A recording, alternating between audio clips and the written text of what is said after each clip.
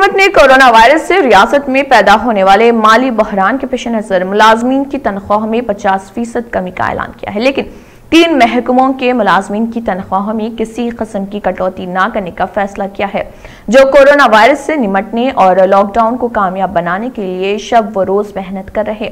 ان محکموں میں پولیس، صحت اور سینیٹیشن ورکرز صفائی ورکرز شامل ہیں۔